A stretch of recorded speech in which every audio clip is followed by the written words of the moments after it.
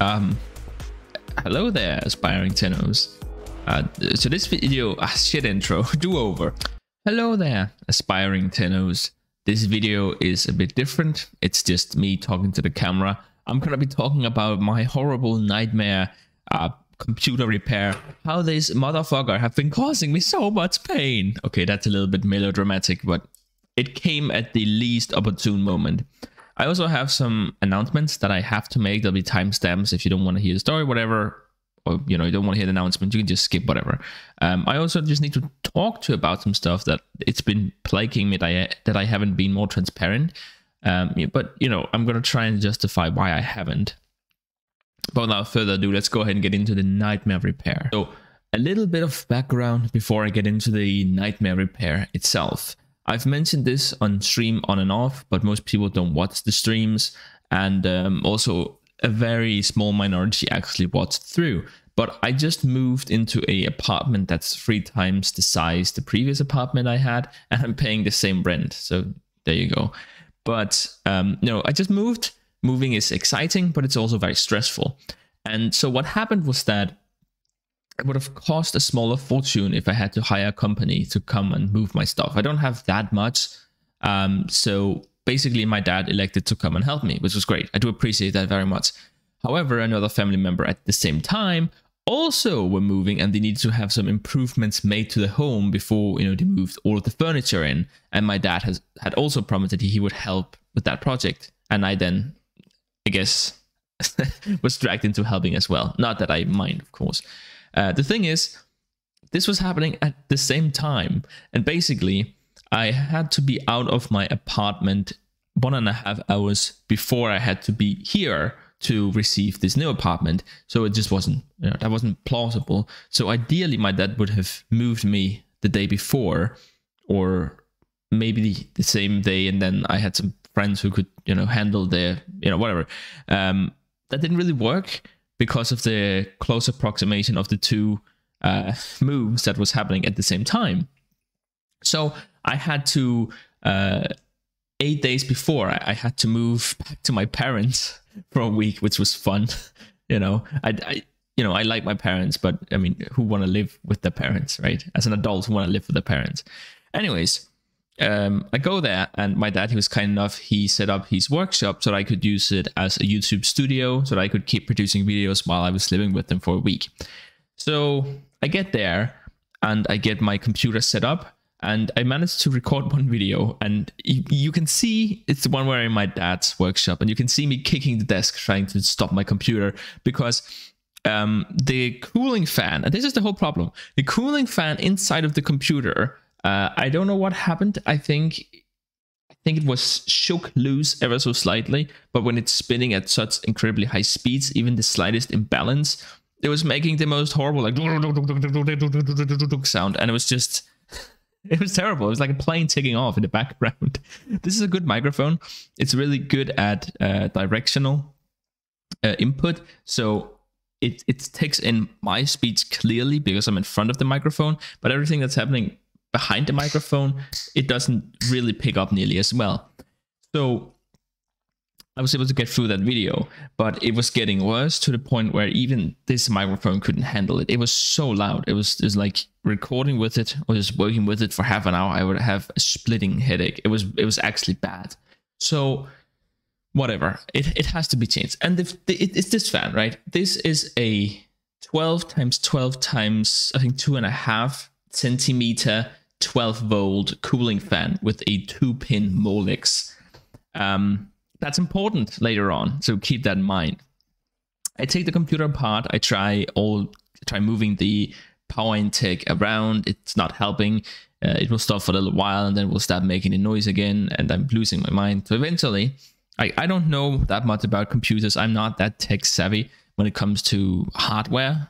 I'm decent with software, but hardware I'm kind of lost but I, I had to fix it. So eventually I just throw up my hands and I say, you know what, it's broken anyways, right? I take it apart. I take the power supply apart. The warranty on the computer had run out anyways. Uh, I take it apart and it immediately becomes obvious that it's it's this fan that's the problem. And I'm like, okay, that's not that big of a deal. it's attached by four screws in each corner of the power intake, I'll just remove it, right? How hard can it be?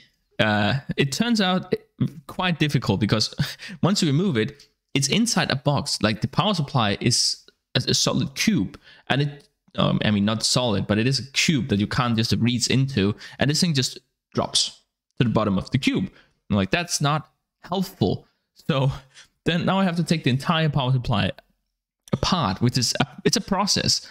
Um, but I get in there and I'm able to remove. It's like two, uh, three sides that's sort of stacked on top of each other and then locked by the sides. Whatever. I managed to take it apart. I look at it for a little while. I'm like, okay, it's attached by one cable. That's the two pin Molex. Um, and I'm thinking to myself, okay, that's fine. I can replace the fan, plug it back in, screw it back on before I attach the top half of the power intake, and then everything's gonna be fine, right?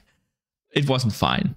So then next, I go ahead and I order this, which is a 12 by 12 by two and a half centimeters, 12 volt, three pin Molex. This here is my problem, and I have not been able to find a 3 to 2 pin Molex adapter. So, uh, long story short, I have this really high quality fan that fits perfectly in my computer and would have solved all my problems, but I can't connect it because this here, this doesn't fit in the power intake. It only accepts two Molex uh, pins. So, okay, well, shit, right? That really sucks. Luckily, it wasn't that expensive. Replacing a cooling fan shouldn't be expensive. They're not expensive. It is, you know, it's it's a piece of plastic with a small motor inside of it and two cables. It's not complicated at all. um, you'd think. Uh, but then, but so after that, I go on the hunt and I find a another cooling fan, and this one is a 12 by 12 by two and a half, 12 volt, and it's a and it's two cables. So I'm like, right. It looks exactly like the one I have right here. Perfect. I'm gonna order it. I order it. It shows up at my house. Well, not not really. I had to go and get it, but whatever. Now I have it. I look at it, and there is no adapter at the end. It's just two cables flailing in the wind. It's like I can't, I, I can't use this, right? Well, I mean, I probably could. It is entirely possible that I could have welded this into the power supplies and or not welded, but you but you know what I mean. Um, and that way, uh, it probably could have worked. But the problem then is that every time, if I ever have to replace it again, then I have to try and get all of the tin out of the computer first because you melt the tin uh, and then you connect the two uh, cables directly to the power intake, right? So it's gonna be a hell if I ever have to try and replace this again. Not to mention, I'm not sure I know how this works. There's a very good chance that I might just short circuit my computer. So I'm not going to do that. Well, okay, fuck. Now I have two cooling fans that I can't use for anything. I well, I actually think I can use the first one to replace the other, but whatever. That's that's not the point, right? So at this point, I'm just I'm losing my mind because there's no uploads. I have all the time in the world on my hands. I have to do nothing else than make YouTube videos while I'm here living with my parents, living the high life, right? So already I'm I'm about to explode. It's so frustrating, right? I even have videos that already has been produced, as you will see in the coming days, but there's no thumbnails and I can't get to them because they're on a computer right now, uh, on like a storage, which I can't get to because the power supply doesn't work, so I can't get to it. so finally, I just throw my hands and I say, you know what, fuck it. I'm just gonna get exactly the same cooling fan I, which was originally in this power intake. So I go online and I find a Yuhong traditional 12 by 12 by 2.5 12 volt 2 pin Molex and I order it. Now, the problem is that they only produce these in China.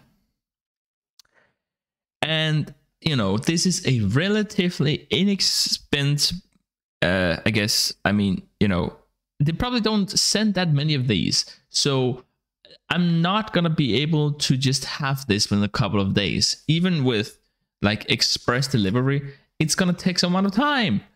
Um, but I accept this. I'm like, okay, you know what? I'm just not gonna be able to use my computer for the next two weeks. This sucks. Goodbye. All momentum on YouTube. Uh, you know, and you know, also I don't. I'm not gonna have a computer for the next two and a half weeks. Um, but I order it. And then the next morning, I get a confirmation email. Like the next morning, not the same day, within the same hour or minute or whatever. I get it the next day. So probably it had to be manually approved. And it's like, yeah, your product will be with you in 90 days. Not 19, 90. So I cancel that real fast. And so now I'm back to square zero. Finally, I call in to Proshop with, I mean, I love those guys. I'm not sponsored by them, but, but I mean, I appreciate the support. And I say, I need this and this and this and this, and it, it has to be specifically this. Do you have anything that matches this? And it's like, yeah, we do have one, but it's uh, in the United States, so it's gonna take a couple of days. I'm like, whatever. It's United States. That's faster than China probably, and it was. It took four days. The problem is it was a 12 by 12 by 25, yes, and it was 12 volt, and yes, it was a two pin, but it was so much more than just a two pin because first up, you have the actual two pin Molex that goes into the computer. Then you have another email adapter that extends from that uh, male adapter, and then also you have an entire third cable, which is a three pin to three pin extender and a three pin male like, what is this? What is this? Where does this go? I don't need this. So, uh, I probably should have done this, but I was contemplating just um, cutting off the uh, wires that I didn't need and then putting a little bit of duct tape at the end, you know, so that I don't somehow short circuit something. Um, because it's all it's all output. The only input is the two pin Molex that I need to connect to the power intake. I didn't do this because I was like, eh, it feels really wrong to cut these cables. So instead, what I did was that right now there is about three cables in my power supply that doesn't have to be there, which is glued to the inside of the case. and it works flawlessly. I have had no problems since doing this, but it took 10 days to fix something which if I'd been smart about it, could have been fixed in three. So yeah, that's why I took a hiatus. And then uploads has also been a little bit slow and a little bit sloppy since then because well I've moved right. So I'm still sort of settling in. Uh, and work starts tomorrow, so that's great. And that takes us to the second half of this video, which is a couple of announcements that I have to make. So I have a list here and I'm just gonna go through it, just so that I don't forget to mention anything. First up, finally starting work tomorrow. That's gonna be pretty good. It's gonna be uh, night work at night. I don't know what that's called. Uh, so it pays pretty damn well, everything considered. And that will allow me to also focus on YouTube. I had actually put aside, um, like that's not the next point, but I'll talk about it now. I put aside around 10 months, so until the start of next year to do YouTube and just to see how well I do um, just to pursue that a little bit. Not that I thought that I'd be able to make a living from playing Warframe within a year, or I, I didn't have any expectations of that. It would have been nice, but again, that would have been a little bit ridiculous.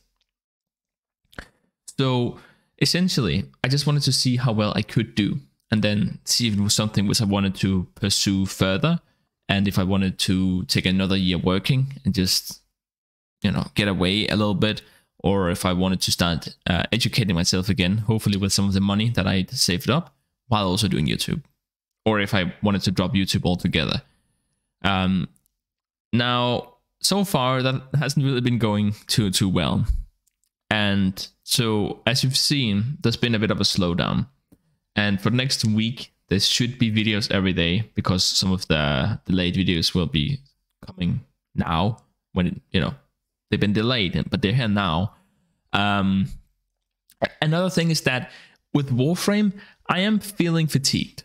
Uh, and I think like a lot of you are. Like the views seems to reflect that. The Discord seems to reflect it. And it's, you know, it's been a while since we had an update. And especially some of the veteran players who are level um, master rank 20 plus. I get the feeling that you don't really know what you want to do. And I get the same feeling. I was on a building high, trying a lot of new builds that I've neglected in the past but now I definitely feel myself hitting that wall a little bit. And so because of that, I can't promise that I'll do daily videos because I just don't know what to talk about. And making uh, videos for the sake of making videos seems a little bit silly. I don't want to become Popska. Um, then I have been playing an unhealthy amount of Path of Exile. So I'm going to experiment with that and make a uh, Path of Exile video in the style of how profitable is it.